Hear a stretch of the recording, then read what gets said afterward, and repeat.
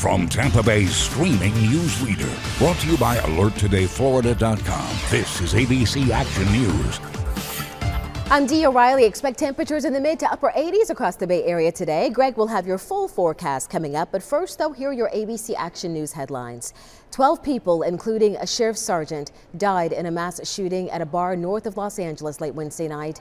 Deputies say the 29-year-old gunman deployed a smoke device inside before opening fire. Officials say hundreds of people were inside the Borderline Bar and Grill in Thousand Oaks when the shooting began. He had two rounds that I know with him. He changed them within about six seconds, which was really fast. So he knew what he was doing. Um, and he also had perfect form. When I look back, he was like spot on. Officials say Sergeant Ron Helus saved lives by going in to confront the gunman. He was shot multiple times and later died at a hospital. Authorities still don't know why the gunman opened fire.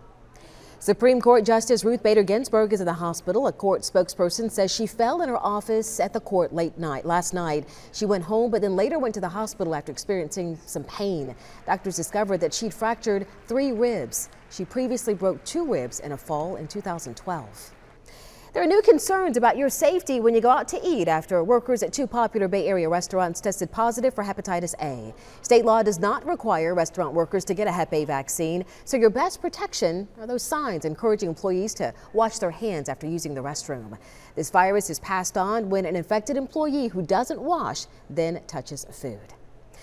There's new regional, a new regional airline at Tampa International offering you an easy way to get to South Florida. Southern Airways Express is using a nine-seat Cessna for up to three flights a day between Tampa and West Palm Beach. Passengers get to use the signature facility at TIA, meaning that you'll bypass the check-in process and TSA screenings in the regular terminal.